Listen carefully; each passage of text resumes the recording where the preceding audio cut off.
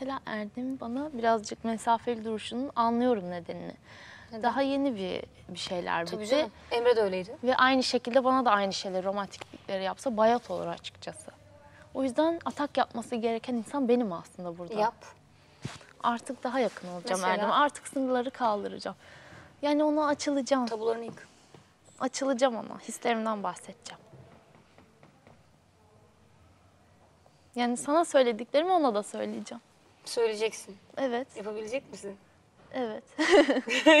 Şanslar. Kalkıp seni seviyorum sana aşığım Diyemezsin. demeyeceğim. Ama Diyemezsin. Sen öyle, öyle yapamazsın. aslında çok daha fazlası var içimde diyeceğim.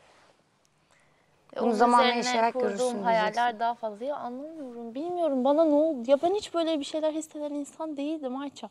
Mesela gece kafamı yastığa koyuyorum, aklıma geliyor. Gerçekten mi? Evet özlüyorum, görmek istiyorum. Ben de dün gece kafamı yastığa koydum da nasıl finalde ne olacak diye düşünürken uyumuşum. Gerçekten mi? Yemin ederim. Ben kafamı yastığa koydum. Tamam bak şimdi senin romantini mahvedebiliyorum. kafamı yastığa koydum. Diyorum ki şimdi cumartesi günü eleme. Kim eğlenecek? Kim eğlenecek? Ne olacak? Derken baktım sabah olmuş. Serpil Eğer araba gelmiş. eğlenmez de burada kalırsak inşallah onunla devam edeceğim. Yok güvenmek istiyordum ona ve o bana bunu gösterdi. Anladın o mı? Bak güven veriyor mu sana? annesiyle efendim O güveni veriyor mu sana? ya veriyor. Erdem. Düşünsene bak Melis'in teyzesi gelmiş. İşte kendi annesi gelmiş. Dördünün konuşması lazımken Erdem gelip beni de oturttu buraya. Beni de aldı karşılarına anladın mı? Dedi ki ben bu kızla yoluma devam edeceğim dedi o gün. Melis'in teyzesine karşı. Anladın mı? Bu ne kadar güzel bir şey biliyor musun? O zaman adımı attı zaten Erdem. Sen daha neyi bekliyorsun? Ya beklediğim bir şey yok. Sadece daha geride duralım ama artık durmamalıyım değil mi? Yani nasıl istersem öyle hareket edeceğim. Mesela o bana sakin dur dediği için falan filan Melis'e tepki göstermiyordum yanında. Ama eğer ki bir daha öyle bir şey olursa ben onu aslında çok kıskanıyorum. Yani içim içimi yiyor Tamam ama aslında. sen Erdem dediyse yap. Sakin dur. Bazen kendime engel olamam diye korkuyorum.